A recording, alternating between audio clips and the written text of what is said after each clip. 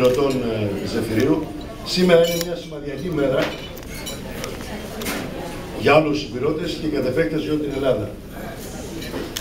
Το 1913, 22 Φεβρουαρίου, απολυθώθηκαν τα Γιάννενα 22. 22 Φεβρουαρίου, άρα είναι και σημαντική μέρα γιατί το κάνετε σήμερα. Μετά από 483 χρόνια σκλαβιά. Αυτό είναι μεγάλη υπόθεση.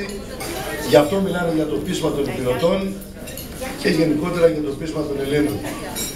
Εγώ θα αφιερώσω την πίτα στους υπηρώτες του Ζεφυρίου με μια μεγάλη ευχή. Ας πάμε όλοι μαζί για το καλό που δίνουμε. Ευχαριστώ πολύ.